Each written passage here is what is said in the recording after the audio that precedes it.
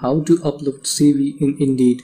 Hello and welcome to our channel. In this video, I will show you how you can upload your CV or resume to the Indeed app.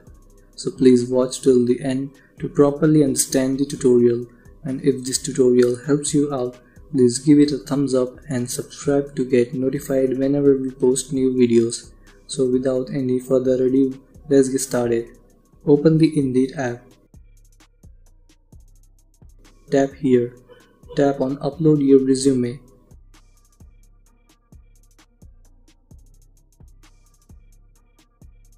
Tap on Get started in seconds.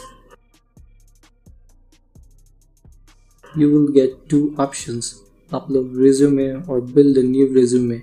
If you already have a resume or CV, tap on Upload resume.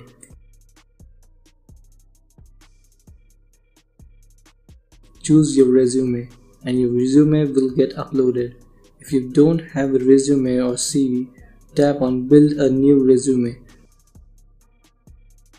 Write your first and last name here and tap on save.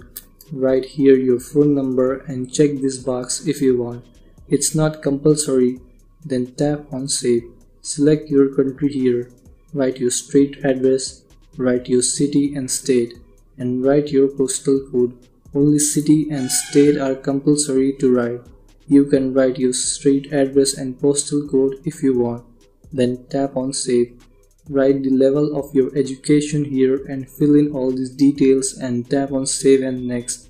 If you want to make some edits or delete your education, you can tap on the edit or delete icon here.